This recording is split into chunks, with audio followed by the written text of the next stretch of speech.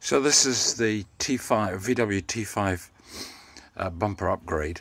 And I've been really careful doing this assembly but there really is a problem with the chrome strip. That's cracked and not fully engaged. That one's engaged. That hasn't engaged and not cracked. And no matter how much I squeeze that it doesn't engage. That one isn't engaged fully and it's if I can get it, it so it's bul bulging out and it's split down the side just there. That one's broken that one's broken. Uh, if I can find it. That see that one's broken there.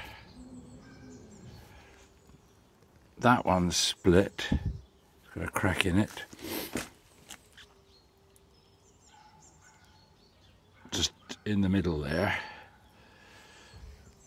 That one seems okay. That one seems okay.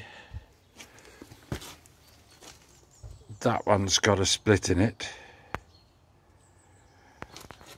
And, and that one just snapped off.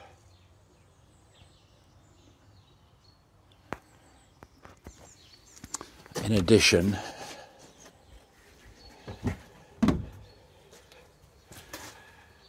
that snapped off there. Now, I know this stuff is fragile, so I've been wearing gloves and I've been really careful. But it's just not designed right. It's the wrong material. That chrome is the wrong, it's the wrong plastic.